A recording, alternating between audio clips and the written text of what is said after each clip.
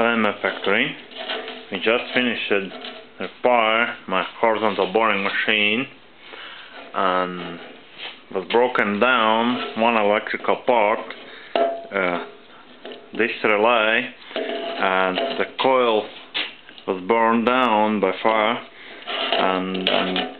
and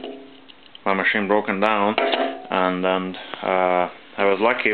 when I get this piece and I can set it into my machine and by this works anything uh, it's for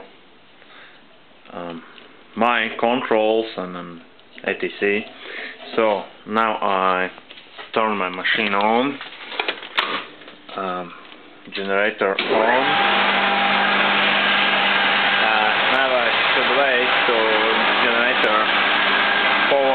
DC4 for